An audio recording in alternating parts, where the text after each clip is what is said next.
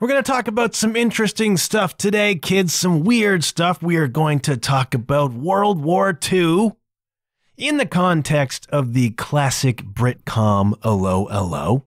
We're going to talk about what you can't get away with on television anymore. We're going to talk about some new music that is either a great tribute to or a blatant ripoff of Cinderella. Could be one, could be the other, could be both, and we'll get to it on the other side.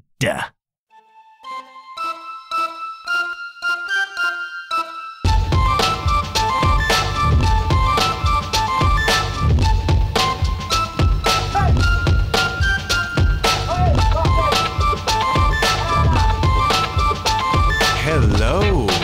You're listening to the John Huff Podcast. Oh, oh yay. Oh, I do not do a lot of television, okay? This is not a great secret I confessed on last week's episode.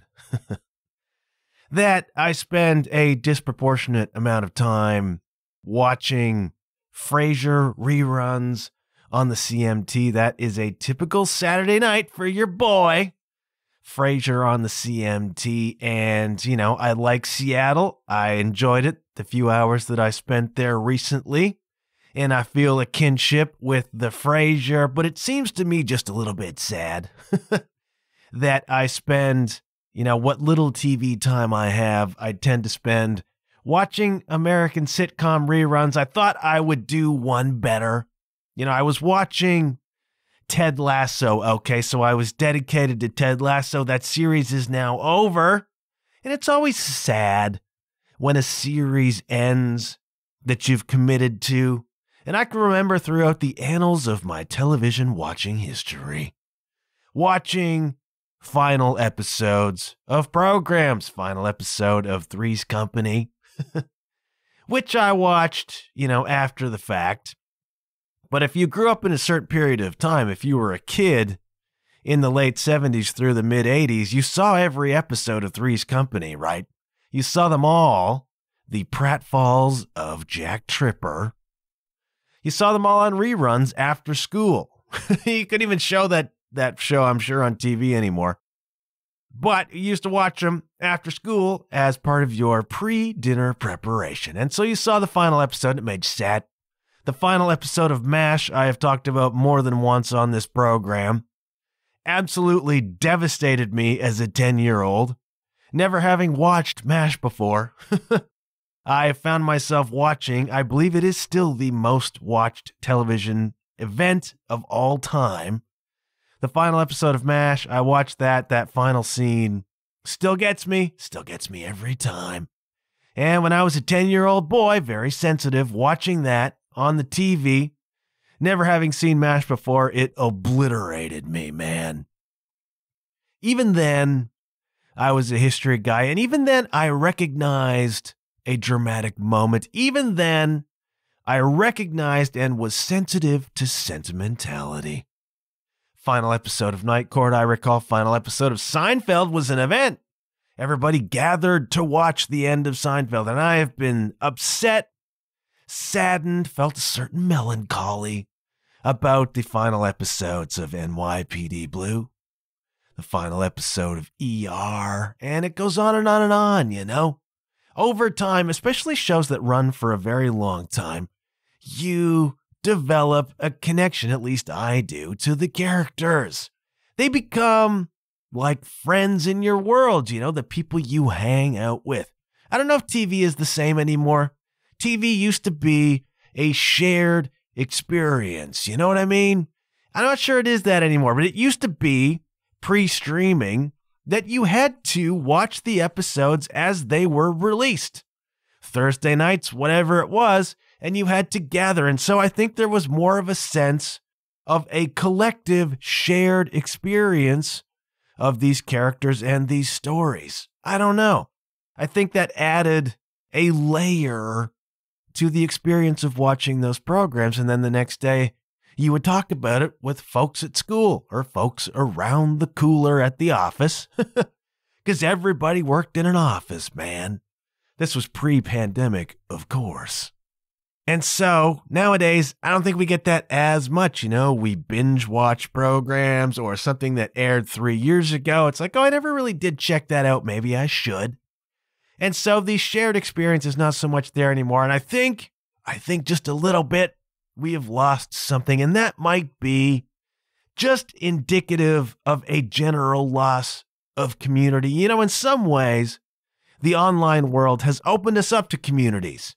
You can more completely and with more dedication, follow Arsenal now because you can join online communities and you can listen to Arsenal Vision and you can listen to the Arsecast and you can follow things. And there is a community, you know, you can be much more specific, I suppose, in your communities. But I think that wider collective has been in some ways lost. And I think TV was part of that. This is not a well thought out argument. it's just occurring to me as I'm talking to you right now. But it seems to me there was something quaint and collective about TV before that does not exist so much now. And yet, there is more opportunity than ever to be part of global communities dedicated to your particular interests. And all I'm really saying is, felt a bit sad to be watching Frasier reruns, and now that Ted Lasso is over, and I am saddened by that, but not as devastated as I thought I might be. Fact is, I'm probably maturing, kids, as I sneak up on the golden age of 50. Maybe I'm reaching a point now where I am less connected to fictional characters on my television device. Although, the second last episode of Ted Lasso brought, you know, I got misty. They're very good at sentiment on that program. They're very good at emotions. They're very good at moments. And the first season of Ted Lasso is some of the best television I've watched in the last, I say, 10 years or so at least. That was a really fabulous. The first season is really, really terrific. It is lighthearted. It is sentimental at a time when we needed lighthearted and sentimental. Okay, this came out of the pandemic era.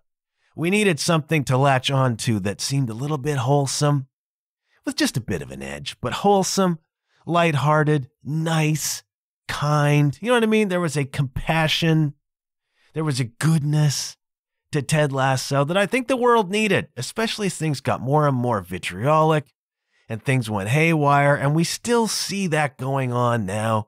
And I don't want to get into it because we're about positive talk on here, okay?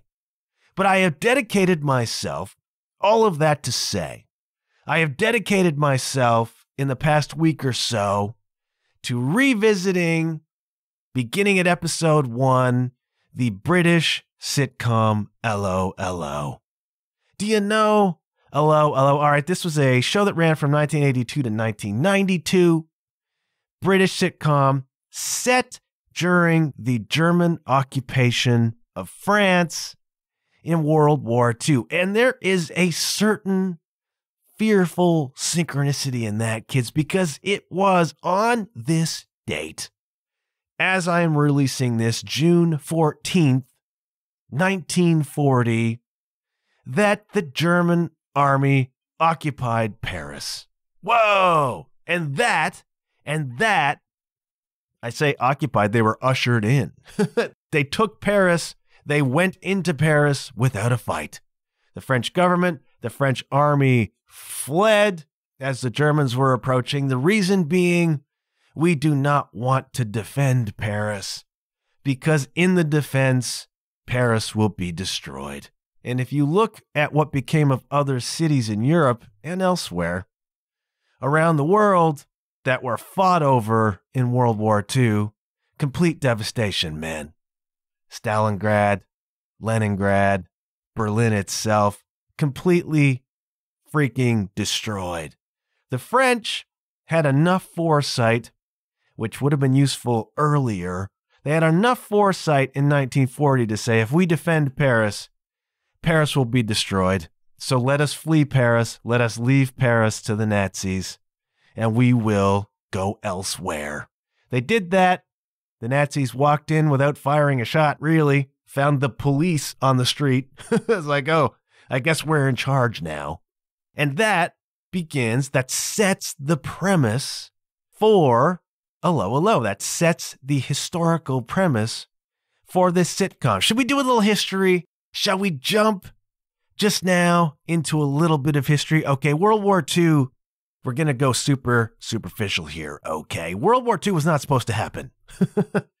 End of World War I, the Treaty of Versailles, signed in 1919, made it very clear that Germany was not supposed to be allowed to become capable of making war again, all right?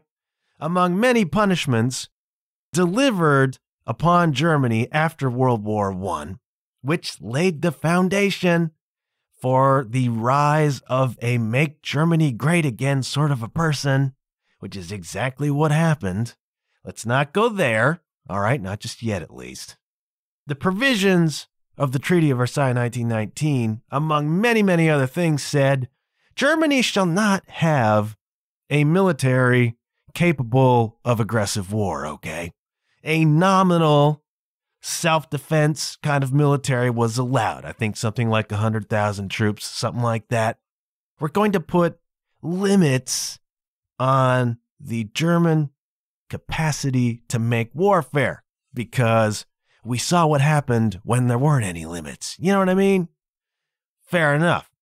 So, among the other provisions of the Treaty of Versailles, that goes into effect. We are hacking the German military down to almost nothing, a nominal defensive force. And almost immediately, the German government begins secretly rearming.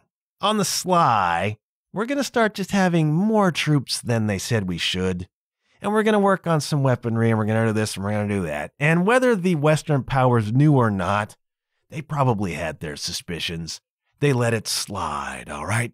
Then, early 30s, Herr Hitler himself is elected, legally elected, to the German chancellorship and very quickly sets about making himself the supreme, unopposed dictator of Germany and this is when the rearmament really starts to scale up, okay? Because Hitler's whole thing was restoring German glory, all right? The thousand year Reich. Finding Lebensraum, living space for the German Empire, the German race, the German people, his, you know, his mandate from above is to get space to restore Germany's glory, and to mete out punishment on those who humiliated and subjugated the German people, beginning with Jews and Bolshevists in particular, and casting glances askew at Britain, France, America, etc. All right? And so if you're going to do that, all right, if you are going to build a thousand year Reich and carve out this massive empire and take over the world, you're going to need more than 100,000 troops, kids. You know what I mean? And so Hitler really ramps up German rearmament. And everybody knows this is happening. And there's no appetite. there is no appetite to oppose this. All right. People still have fresh in their collective conscious, fresh in their memories, World War I. World War I was an atrocity against humanity, okay? 20 million people died, give or take.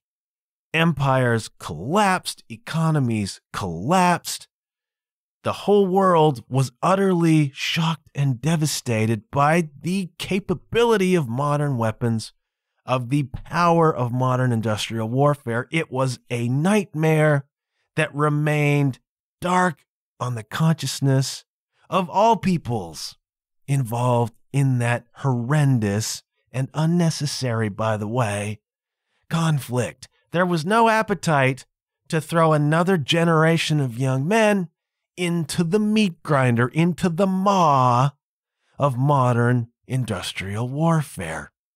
And so they let Hitler rebuild the German military.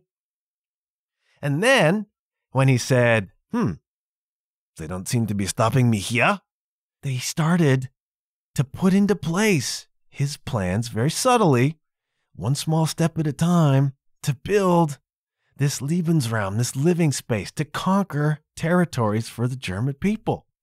One of the first things he did was march his troops into the Rhineland. The Rhineland is a section of Germany, borders France, Belgium, Netherlands, a demilitarized zone after World War I, a DMZ, little buffer, little buffer between the aggressive Germans and the peace loving Western nations, right? So we're going to make the Rhineland a demilitarized zone, not allowed to put troops in there, Germany. Well, Hitler, feeling emboldened, puts troops into the Rhineland. And the British and the French raise their eyebrows and they hum and ha. But ultimately, they let it slide because we don't want another war, man. So, what we're going to do with this strange little man over in Germany is we're going to appease him. And so they put into place this policy of appeasement, thinking if we let the little guy do his thing just a bit, doesn't hurt anybody, let him have his fun, let him do his thing, maybe, maybe he'll be satisfied with that and he won't provoke a second world war. And of course, the little guy is going to take everything they'll offer and negotiate in bad faith and do his Hitler thing. All right, we can see this in retrospect. He's doing his Hitler thing. So he occupies the Rhineland. Nobody cares all that much. And then he says, well, Austria is our traditional ally. It's a Germanic population. Many Germans in Austria, it's only right and well that Austria should join the German Empire. And so German troops march into Austria and, according to the propaganda, are treated like our traditional heroes. Our brothers from the Deutschland have come and we are all unified again. And the Western powers look at that and go, eh, okay, we'll appease the little guy on that. You know, no harm done. The Austrians seem to be happy with it, so okay. Hitler looks around and says, well, you know, I don't really have at this moment the military to go full on against major powers like Britain, like France. They don't really seem to know that. and there was an opportunity. There was an opportunity as all this was going on in the 30s for the Western powers to make a military intervention that the Nazis were not prepared to deal with. The opportunity was there to nip this in the bud, militarily speaking, that option was not taken because, again, we don't want another World War I, man. We don't want that. So they let Hitler do the thing. They appeased him, the policy of appeasement. And then Hitler turns his eyes upon the Sudetenland. The Sudetenland being a strip of what used to be northern Czechoslovakia, with a lot of German people. All right. Hitler's context, Hitler's justification for a lot of this was we are reuniting the German people. That should be allowed. Self determination. All right. Where there are German populations, they belong as part of Germany. How you going to argue that? And so the crisis begins to form. Czechoslovakia exists. Here's the Sudetenland. It's full of German people. We're planning to occupy that and take it over. And now the Western allies are beginning to get a bit prickly about it all. They're like, how far is this cat going to go? What if we throw him another bone, let him have the Sudetenland? So, what they do, in a nutshell, is utterly sell out Czechoslovakia. All right, Neville Chamberlain, the great prime minister of Britain at the time, and the leaders of France and the leaders of Italy, they all go to Germany have a little meeting with Herr Hitler, and they make an agreement with him, known as the Munich Agreement now, or the Munich Betrayal, depending on who you're talking to, where they say, okay, you can have the Sudetenland, you can basically have Czechoslovakia if you promise, Addy, not to attack anybody else. And we're drawing the line at Poland, all right? Poland is where we draw the line. And we're letting you have all this other territory. We're not firing a shot. Don't want a war, man. And so Hitler says, okay, sure, sounds great. I won't attack anybody else. Scout's honor. And so the Germans occupy half of Czechoslovakia. Hungary pops up and takes the other half. And all of a sudden, Czechoslovakia functionally ceases to exist. And the Czechoslovak people are like, hello, what did you just do to us, man? Well, what we just did to you was sacrifice you for what Chamberlain came home toting as peace in our time.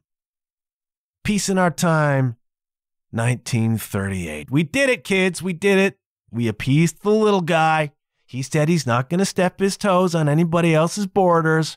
We're all good. And we can trust him. We can trust him because he has proven himself so trustworthy so far. And of course, almost immediately, Hitler turns around and invades Poland, just like he said he wasn't gonna. And the Allies have drawn their line in the sand at Poland. And so, reluctantly, declarations of war are declared.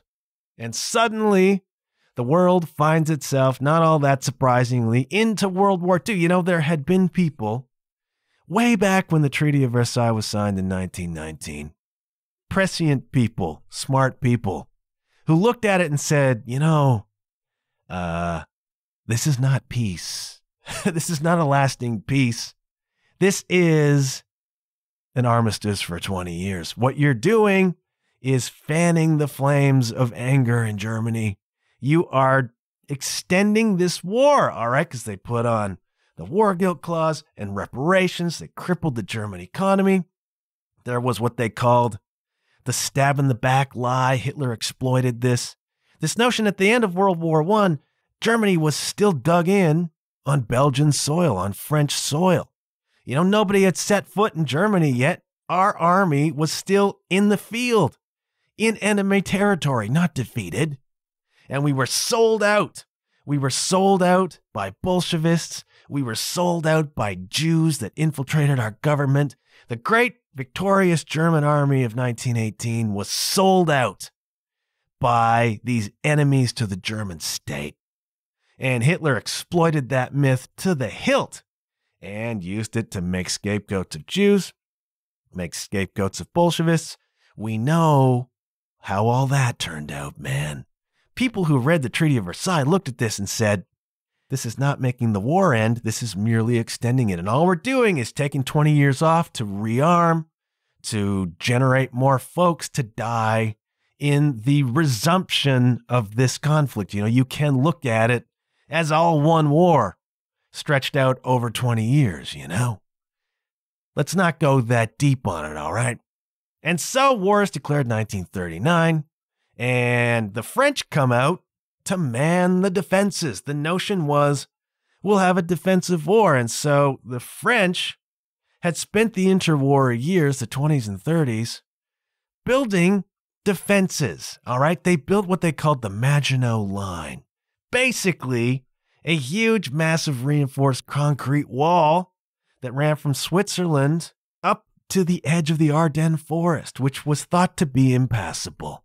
So they're like, here's what we're going to do. We are going to prepare to fight the next war by setting up these fabulous freaking defenses. And what they did functionally is create defenses that were ideal to win World War One. they built impenetrable defenses of the sort that could win you World War One. Problem is, World War I was 20 freaking years ago, Jack. You can win that war all you want. It's passe. We're at World War II now. So the British show up 1939, man the defenses. The French come out to man their defenses.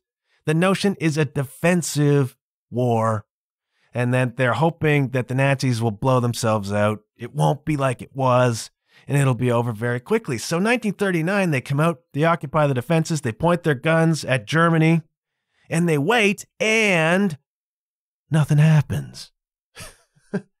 nothing happens. They call this period of the war the phony war, right?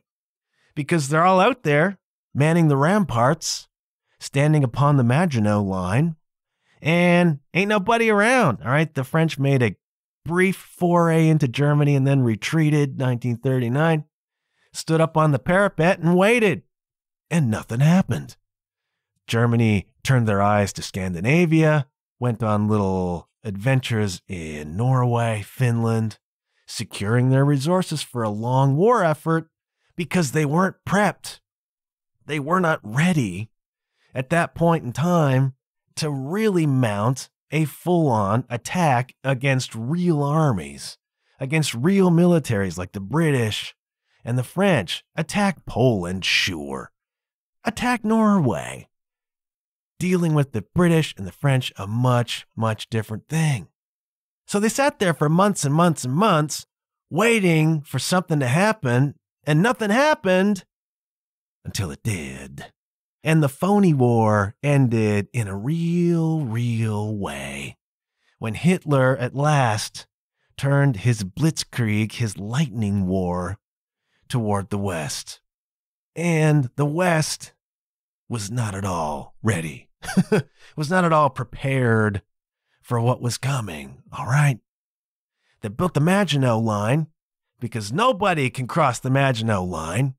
And Hitler said, uh, Hans, haben wir uh, aircraft that can fly over the Maginot Line? Ja, mein Führer, we have those. Oh, that's cool. And they said, you know, is it all that impossible to attack through the Ardennes forest like the French think? Nein, mein Führer, we can go through the forest. And they did. And so everybody's standing on the Maginot Line, and the planes just flew over it. and the tanks just went around it and in they went to France. Long story short, you know, the Germans could not conquer France in four years of fighting in the First World War. They took it in six weeks. May 1940 into June 1940, they just took it in six weeks, all right? They pushed the British and the French, what remained of those armies, up against the coast. The evacuation at Dunkirk, go watch the movie, it's pretty fascinating. You know, they managed to airlift or boat lift 300,000 troops out of northern France. Thank goodness for that. Would come in useful later. But, you know, a million and a half French soldiers were captured. France was conquered. Again, they marched into Paris unopposed in 1940. And so what happened after that is the vindictive Hitler made the French sign a peace agreement, made the French surrender in the very same rail car where Germany was forced to surrender in 1918. Hitler, great at symbols, you know what I mean? Great at sentiment in his own twisted way, made the French surrender in the same railroad car where Germany had surrendered, finally winning World War I in his mind. And so France was conquered and split in two, all right? So the General Pétain became the leader of what was called Free France or Vichy France in the south, and the north was occupied by German forces, okay? Ostensibly to defend, well, first to attack Britain. the Battle of Britain came thereafter. And then later to defend against attacks from Britain, which we know happened D Day 1944, okay? So this is 20 minutes of telling you why Allo exists. Allo is set in the occupied part of France. All right. So I guess it starts 1940s, 1940, and it's a sitcom. And what a premise for a sitcom. Now, at the time, in the 60s, 70s, I guess there had been television dramas about the war years, the Secret Army being a big one. That was a drama set, I think, in Belgium during the occupied Belgium during the war years. And it was to do with the resistance, the Belgian resistance, German occupiers, looting of antiques, paintings, this kind of stuff. There was a lot of intrigue and it was knife edge stuff. It was a drama about life in these occupied territories. Well, along come the creators of Allo Allo, and it's like, we're going to do that too, but we're going to spoof it.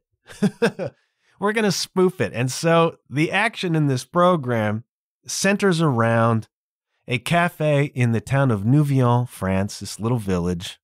And the cafe owner is Rene Artois, who is the world's luckiest coward. a complete coward and philanderer, you know, Rene Artois, who is at the same time a pawn of the German occupiers and a pawn of the French resistance. And this whole thing, this whole sitcom centers around just repeated storylines that intertwine and blackmail as Rene tries to not get shot by the resistance and not get shot by the German occupiers who are using him for different things. All right. The resistance are trying to help British airmen who have been shot down. And there's a painting, The Fallen Madonna with the Big Boobies Van Gogh, priceless, that Hitler wants. Everybody wants the Fallen Madonna with the big boobies because the idea is we're going to get that. We're going to, it's priceless. We're going to sell it after the war. So the town commandant, Colonel von Strohm, he wants it. The local Gestapo head, Herr Flick, he wants it. The resistance want it. Everybody wants the fallen Madonna with the big boobies. And then there are forgeries of it. And plot lines swirl around who has the painting, who has the forgeries, how do we get it back? Do we have the right one? And it just intertangles all around. And it is really, really funny. I mean, it is a Britcom of the 1980s. It is pure farce, pure satire, pratfalls, sight gags, relentless innuendo, the sort of stuff you couldn't get away with now. you just couldn't get away. First of all, you couldn't get away probably with people walking around in Nazi uniforms. You couldn't get away with jokes about swastikas, you know? It's like we have to whitewash history. It's like none of this existed, you know? It's weird how the notion now is to protect everybody from history. That's a bad idea, man. All right, there are tasteful ways to do this, but protecting people from history, you know, those who don't know history are doomed to repeat it. You couldn't get away with Allo Allo now, and I find that sad. All right, but the premise I mean, it's a risky premise. Let's make jokes about Nazis, etc. But the thing about it is, it's lighthearted, right? It is not in any way malicious or vicious. It's lighthearted, it's immeasurably silly. And the fun part is that, I mean, they have a practical problem here, which is we have all these different nationalities. We have French people, we have German people, we have English people, we have eventually Italian people, it's like, how do we have them communicate? Because, you know, nobody can. We can't subtitle everything. We can't get people speaking the native languages. So what do we do? Well, we stage it. We, we use stage accents, right? So the actors who are playing German characters speak with a German accent, right? And those who are playing the French characters are all French, you know what I mean? And etc., etc., etc. And the English characters are all pip pip cheerio, you know, this this carry on war stuff. And the Germans are humorless and kinky. The French are relentlessly horny. The Germans, sorry, the English are just kind of goofy and stupid. It's a send up of everybody. And it's so funny to listen. To, you know, you buy it very, very quickly. It just becomes normal. All right. You understand the French and the Germans understand each other in their different accents. Nobody understands the English. The English don't understand anybody. And it's really, really funny. It's just really, really funny. And it is pure farce slapstick. All right. This ran for eight or nine seasons, something like 85 episodes. And they're all on Prime, kids. They are on your Amazon Prime. 'Allo, 'Allo the title being a reference to the greeting that would come through the wireless radio, which was stored upstairs under the bed of Rene Artois' ailing mother in law. Hijinks ensue, And we got to get to the radio. Okay. Hello, hello. Pass your message, Nighthawk. It's so funny. And if you are a history person, even though the history is not super representative, okay, but it's interesting to look at and it's interesting to imagine and it's interesting to laugh at this. But you know, as is typical of an 80s sitcom, particularly a British one, there has to be a gay character. And I have talked about this sort of thing before, you know, with reference to an episode of Night Court back in the mid to late 80s where they had a gay character just for one episode, and he was just a guy. This was an unusual thing. It was very unusual, if you'll pardon the pun, to play a gay character straight, meaning not as the butt of jokes.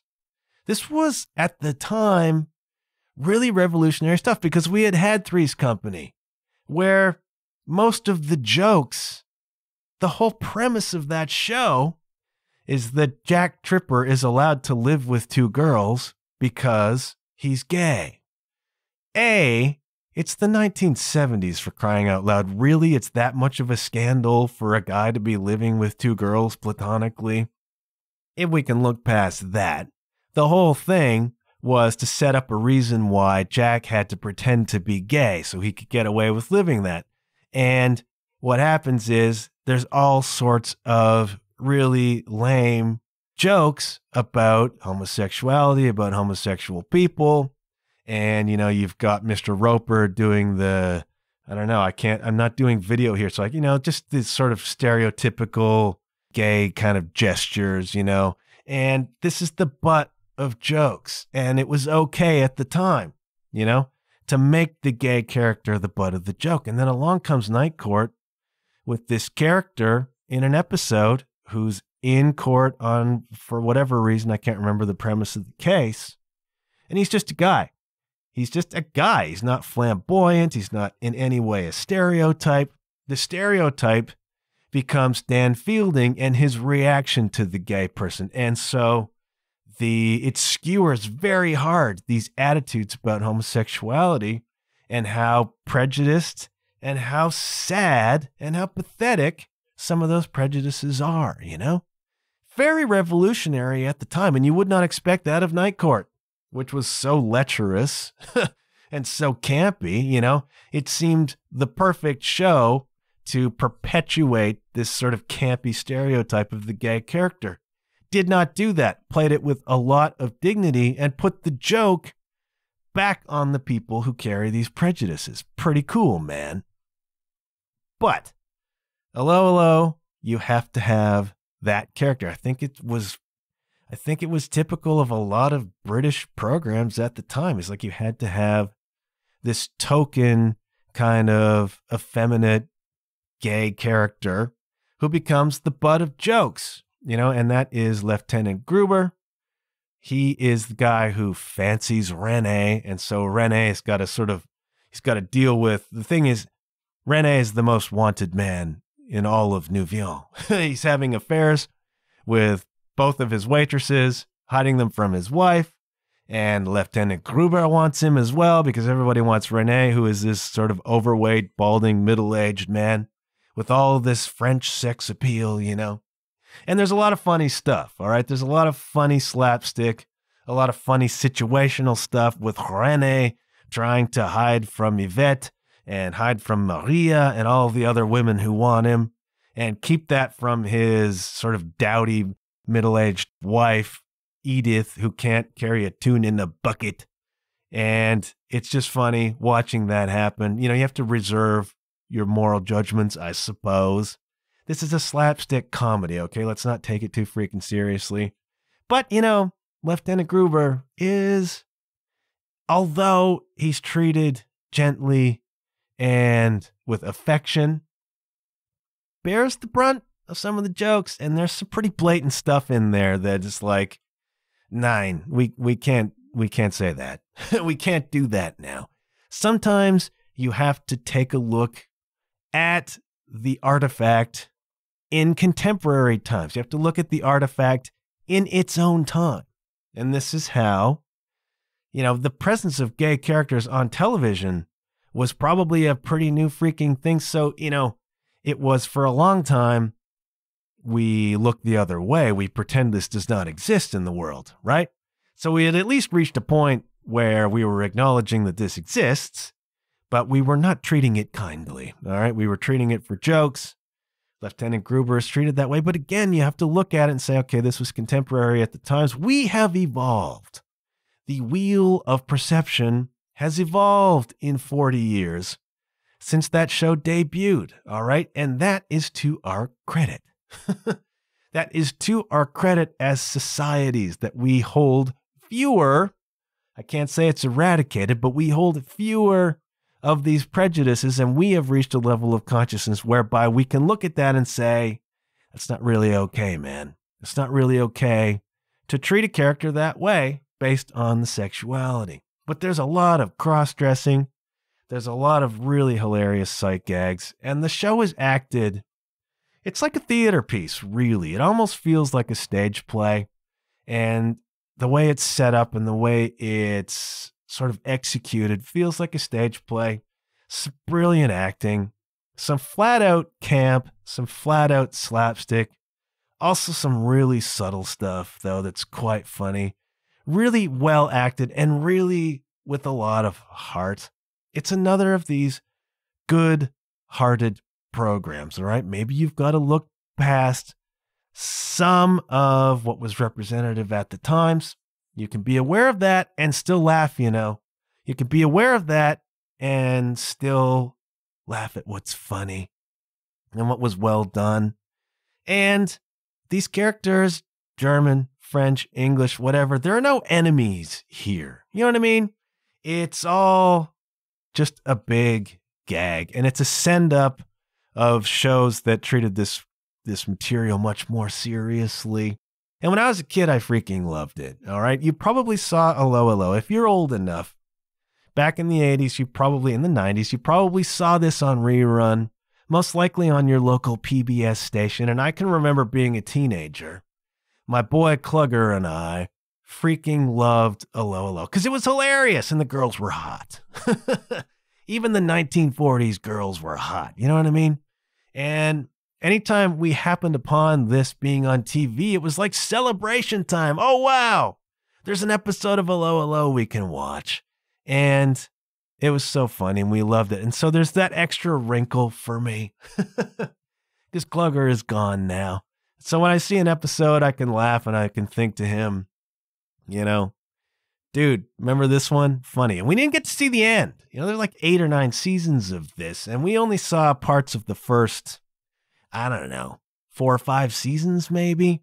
And I got to tell you, the first season is quite hilarious. Go on to Prime, watch the first season of 'Allo 'Allo. It's probably the best one where you're meeting some of these characters. Sam Kelly as Hans Geering is such a freaking funny actor, such a good character.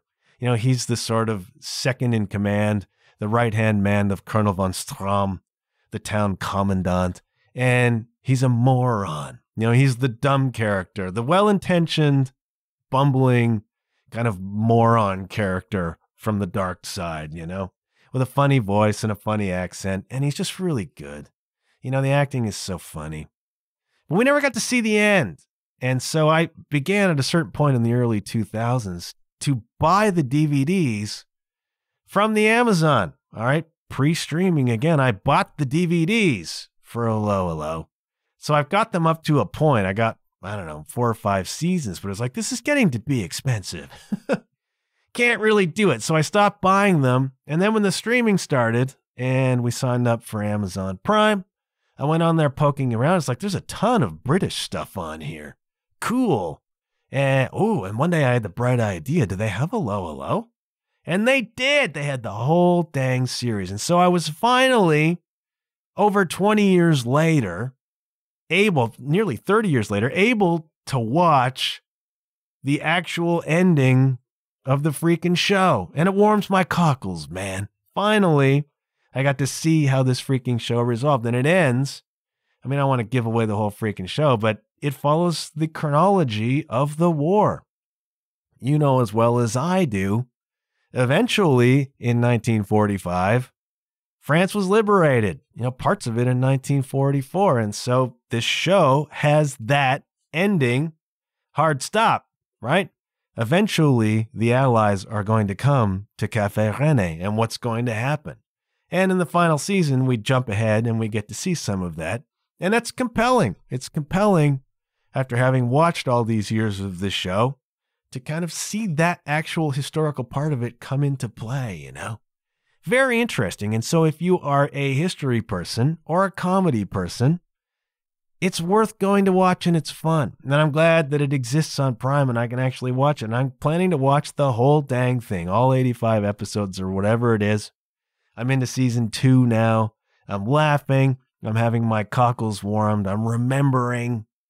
And it's just fun, you know? Gives me a little bit of a chance to talk superficially about some history. I mean, you don't do World War II in half an hour, you know what I mean? So go watch 'Allo 'Allo. You need a laugh, you need something a little bit different. That's on Prime. If you have a Prime membership, it's free. You don't have to pay extra for it. And it's just silly. It's silly and goofy. And you know what, kids? Sometimes silly and goofy is exactly what you need. I needed it during the pandemic. Ted Lasso provided a lot of that. I need it now. Maybe you need it now too. So that's me saying, I've been watching Hello in lieu of Ted Lasso and Frasier, all right? it only took me, you know, almost 50 minutes to get to that, which leaves very, very little time for the Patreon plug. And I'm not going to do the full exhaustive Patreon plug. If you've come this far, thank you so much.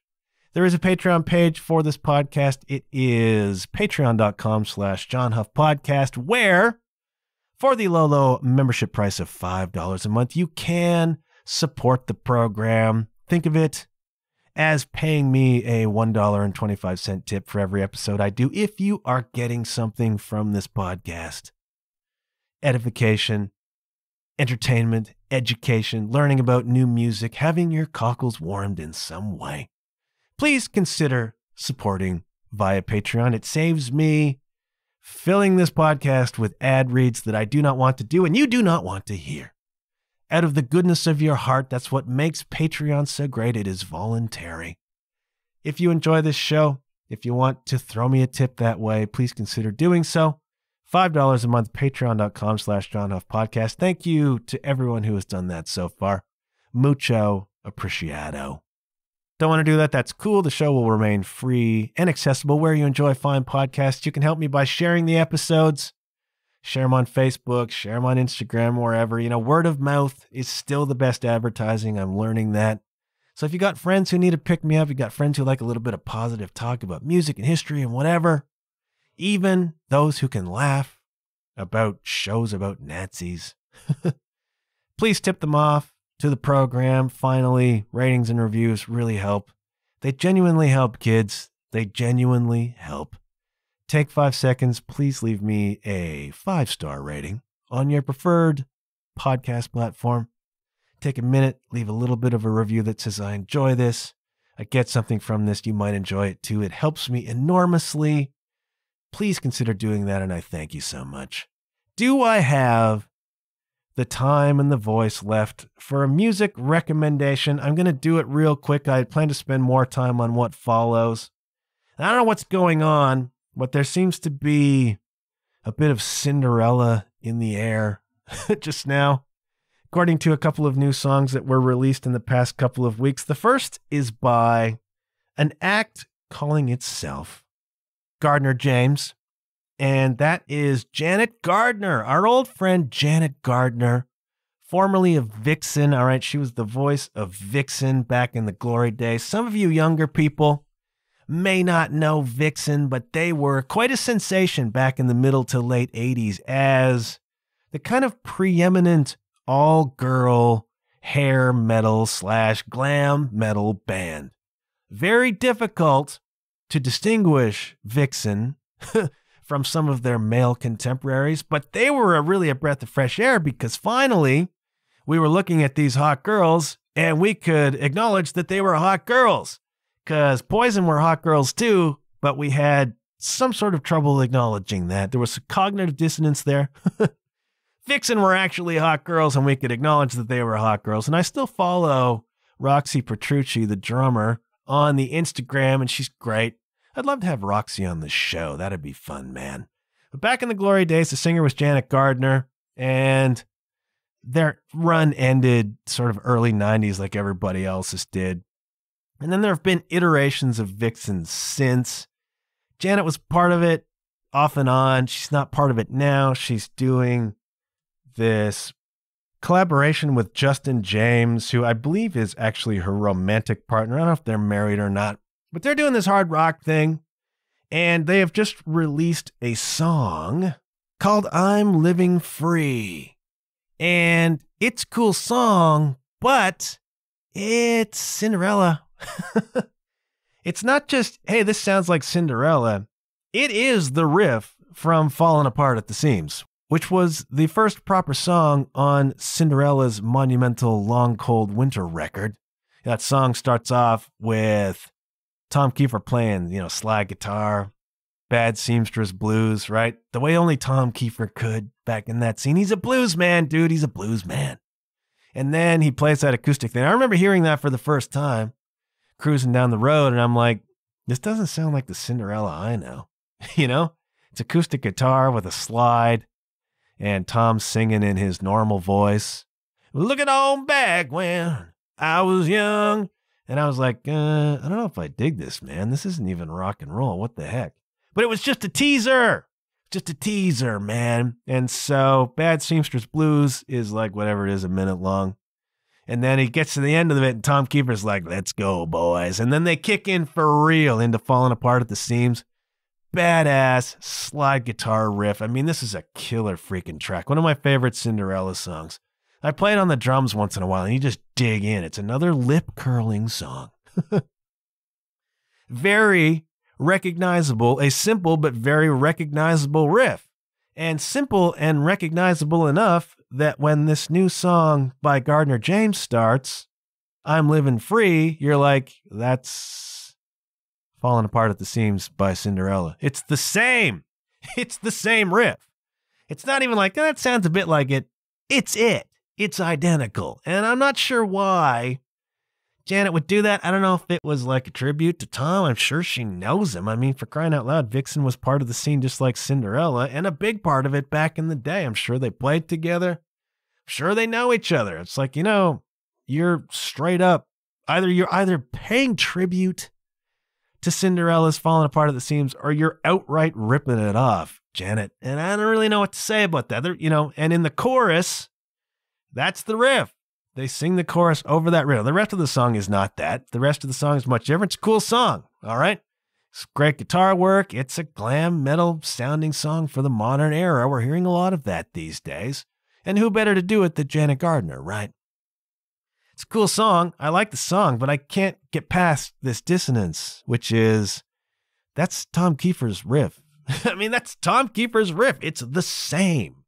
And I don't know what to make of that. I've not seen any literature out there that suggests it was intentional. But I'm like, you can't not know. It's not like it came from some obscure Christian glam metal from 1988. It's from freaking Cinderella's Long Cold Winter. That's a platinum record, and it's the first song. it's like, you gotta know. Like when you were making up that riff, did it occur to you, like, this sounds like something? Sounds like something I should know. Maybe it did, and maybe it is a tribute. Maybe it is a tribute. And I say that because there's another song out right now, and it's by a band called Hell in the Club, a band from Italy. All right. Hell in the Club. And they've just released a single called Sidoni. I guess it's called Sidoni, S I D O N I E. And I had it on my list. You know, every week I accumulate a list of new stuff to listen to, see what might be worth talking about on the podcast. And I listened to this song, and the, it's another hard rock tune, right? It's got that throwback, got that 80s vibe. Cool, I dig it. And then the dude starts singing, and it's like, uh, he's singing Shake Me by Cinderella. like the lyrics are the same. It's the same lyrics, more or less, all right? Not all of the lyrics, but some of them. Some of the lines are straight up lifted from Shake Me by Cinderella. And I'm like, what's going on here? Did Tom Kiefer die and I didn't know about it and all these tributes are coming out? So I'm listening and it repeats several lines from Shake Me by Cinderella. And I'm like, I just heard Janet Gardner ripping off Falling Apart at the Seams. I'm hearing this band singing verbatim lyrics from Shake Me. But in this case, Hell in the Club, I find out that that's more or less intentional, right? They have a new record coming out called Fubar. Not sure how Arnold Schwarzenegger is going to feel about that because he has a new series called Fubar. In any case, new record called Fubar, and they are billing this as a tribute, quote unquote, to the sounds and styles of those 80s glam bands, Dokken, Crue, Cinderella. And so I feel as though the use of those lyrics in this song is intentional and an actual nod to Cinderella. And I'm not sure Janet Gardner's song is an actual nod to Cinderella. Maybe it is. And if it is, I apologize. I apologize for seeming to make it otherwise. But here we have Hell in the Club. Been around a long time, apparently. Got several records out. And this is another cool song. All right, I like this tune a lot. And it's got that glam throwback. Great guitar work, great guitar tones. It's riffy, big chorus, but it's just, again, initially at least, this weird dissonance about these are Cinderella lyrics. So I guess it's Cinderella time. I guess the thing to do right now is to be tributing or ripping off one or the other Cinderella. And I'm all for that. All right, Cinderella is one of my favorite freaking bands. You know, I love Cinderella. When I was in Hearts, one of the things I was trying to channel on the sly, because everybody else in the band was 10 years younger than me, not perhaps into Cinderella, I was trying to pull Cinderella vibes into the music. So if you listen to a lot of the music from when I was in the band, it's got a Cinderella kind of edge to it. Some of those bluesy riffs, some of those kinds of choruses. And we even had Tyler, the guitar player, one night playing slide guitar with a beer bottle. And how rock and roll is that? So I'm all for Cinderella flavors coming into modern rock music. I just find it somewhat disorienting to see it so blatant. But again, in the case of Hell in the Club, it appears that that's intentional. And so, okay, fantastic. This is a cool song. It does have kind of a Dokken vibe to it It's got that chorus. The singer, the singer sounds like Vince Neil might have sounded if he had just a little bit extra edge on his voice, maybe. You know, Vince's vocals were actually pretty clean for the most part.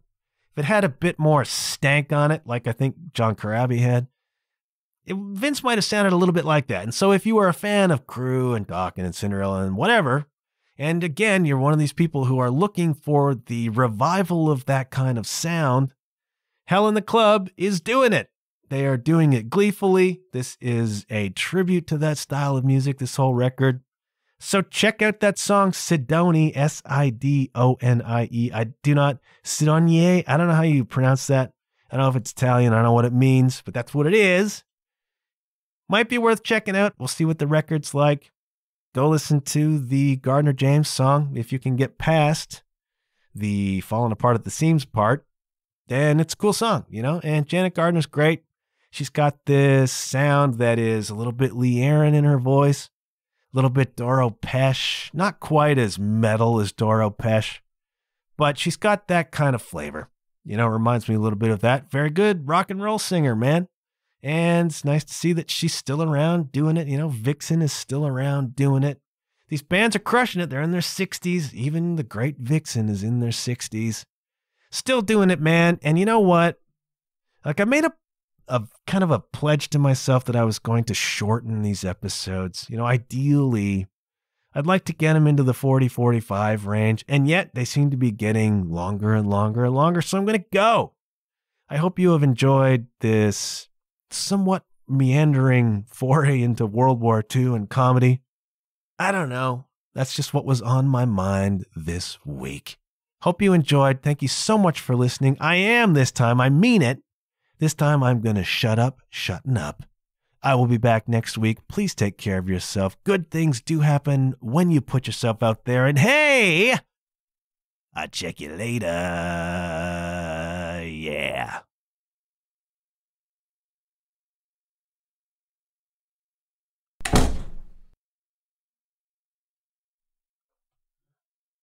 I tried to sing it, but my song had been sung, and now I ain't got no worries. Ain't got no one to call my own. But when I got just a little bit older, all I got had come on done. Let's go, boys. I don't understand half of it myself.